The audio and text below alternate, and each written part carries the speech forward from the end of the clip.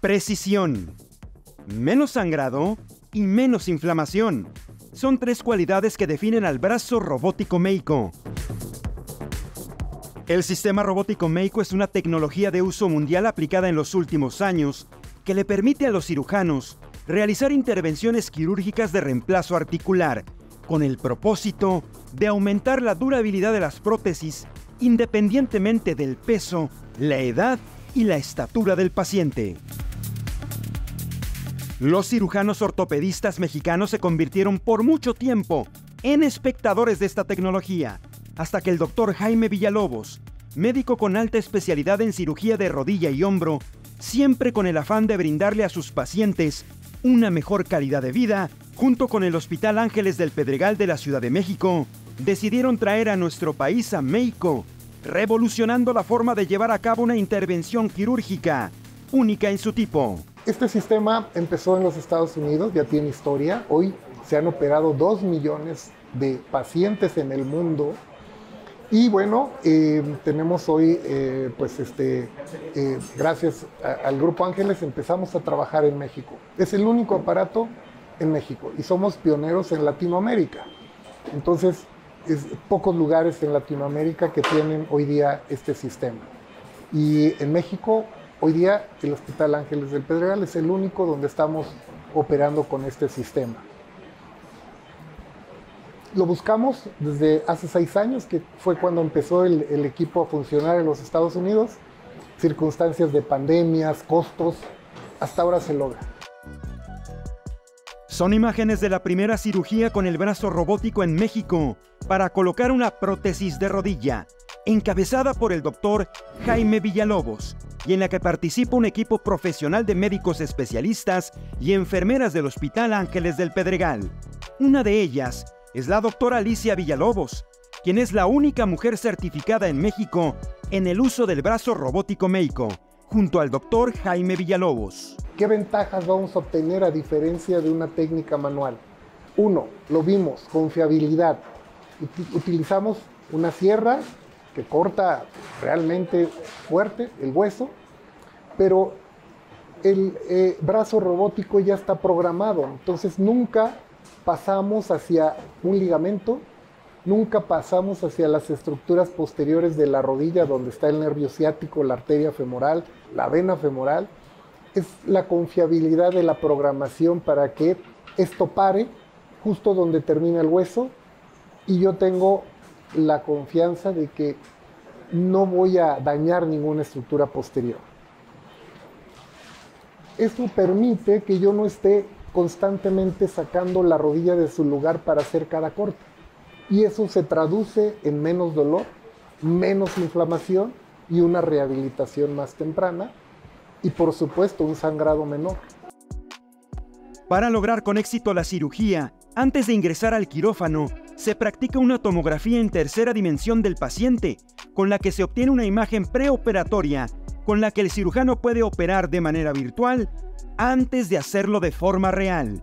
Increíble pero cierto. Y es el propio doctor Villalobos quien lo explica. Se tomó una tomografía en este hospital porque tiene que ser una tomografía especial, no puede ser cualquier tomografía, tiene que ser una tomografía marcada. Esta tomografía vía email se manda a Miami, que está el centro de, eh, de programación de Marco, y posteriormente ellos regresan en 12, 48 horas el resultado. Nosotros lo vemos en pantalla, lo vemos vía email y todavía somos capaces, de acuerdo a la otra rodilla, de acuerdo a las cualidades de la paciente, podemos modificar lo que ellos nos planificaron para poder todavía obtener más exactitud. El quirófano se programa desde muy temprano y la era de la tecnología médico en México comenzó.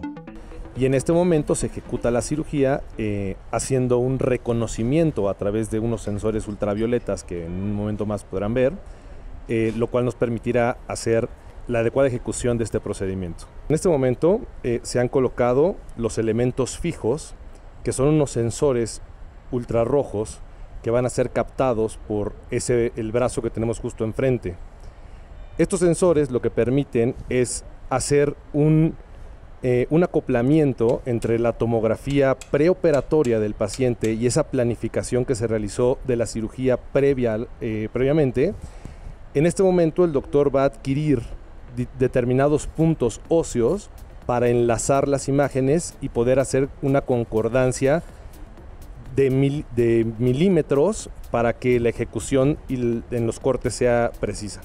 En ese momento el doctor está realizando el registro de puntos de la superficie ósea a nivel femoral. El brazo robótico lo que nos está indicando en la pantalla es exactamente qué puntos tienen que ser tocados con el puntero para establecer una relación real y precisa. Nos va marcando en un porcentaje, en este momento llevamos 42%, y cuando se adquiere el 100% de, de puntos de premarcaje, podemos tener ya una relación uno a uno en cuanto a la tomografía y al paciente. Una vez que se han hecho todos los puntos, el doctor ha logrado una precisión de 0.3 milímetros entre las imágenes de la tomografía del paciente y la adquisición que él ha realizado. Es decir, el doctor tiene un margen de 0.3 milímetros de exactitud en relación a, lo que previamente se había planificado. Estamos hablando de menos de un milímetro. Y todo el puntilleo que se ve en color verde nos habla sobre los puntos que fueron tomados de manera precisa. Ahora vamos a como hemos terminado la parte femoral, vamos a pasar a la parte tibial, donde de igual manera, por grupos de cuatro, el doctor irá tomando estos puntos de marcaje para hacer una comparación tomográfica. En este punto, la experiencia del doctor Jaime Villalobos es de 25 años de realizar cirugía navegada en México y eso es lo que ha hecho que el paso de la cirugía mecánica a la cirugía ahora guiada por un asistente robótico luzca tan sencillo. Sin embargo, aquí estamos hablando de 25 años de experiencia en el uso del sistema de navegación, lo cual pues facilita el entendimiento de este, de este tipo de nueva tecnología, lo cual en algunas ocasiones para médicos que recién comienzan puede, puede generar un poco de conflicto. Sin embargo, es un sistema muy persuasivo, muy intuitivo, que fácilmente puede permitir la, capacitación y, la, utilización. Nos permite establecer la tensión máxima con la que cuentan los ligamentos laterales y mediales para una vez capturada esta información en el sistema, poder establecer y poder hacer un juego para poder establecer el tamaño de cortes que sean mínimos y poder colocar la prótesis en la mejor tensión posible. Esto no existe algún otro sistema que nos permita hacer esto, solamente Meiko es el único que te permite hacerlo. 19, perfecto. Ahora vamos en flexión. Ahí, ahí, ahí dejé ¿no?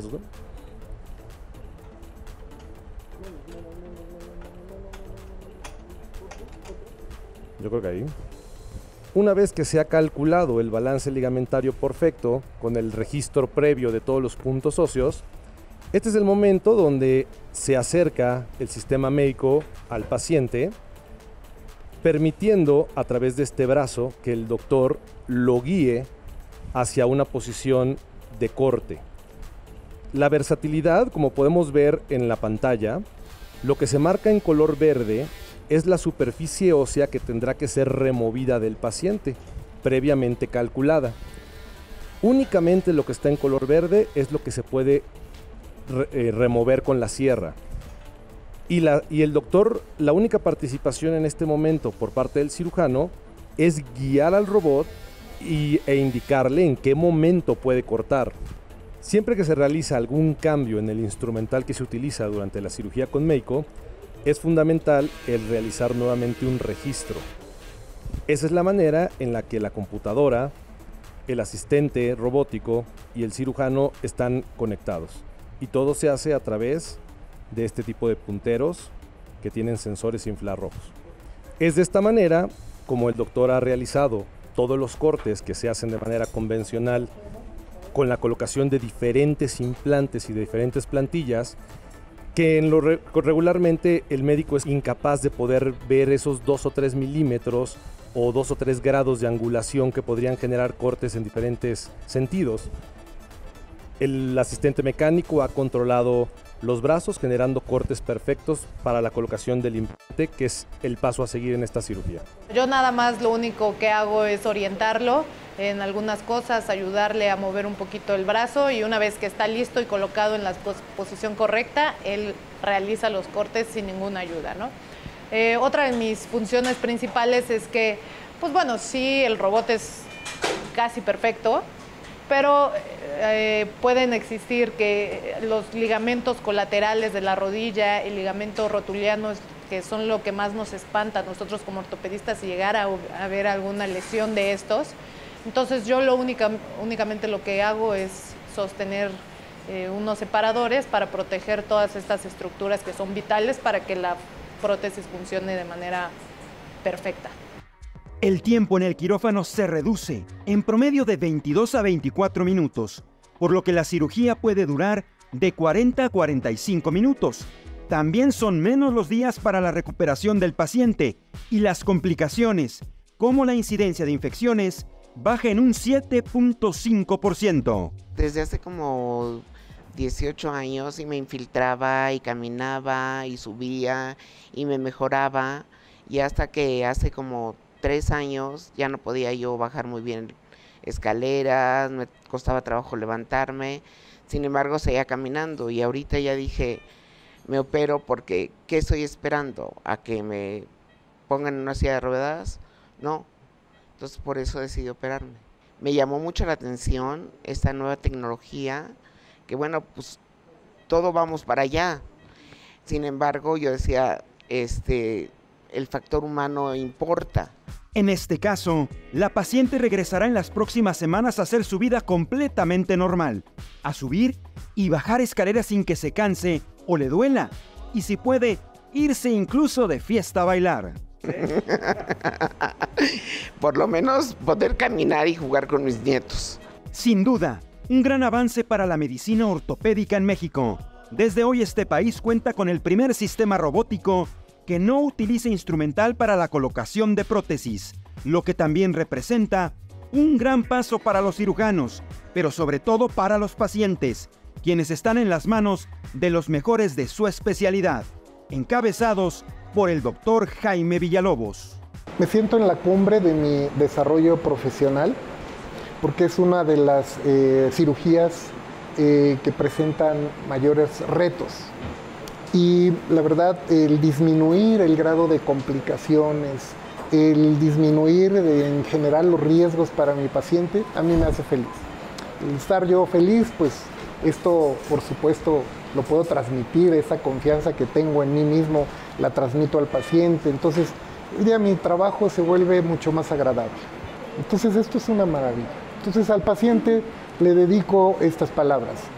Esta tecnología es hecha para ellos para que su recuperación sea mucho mejor.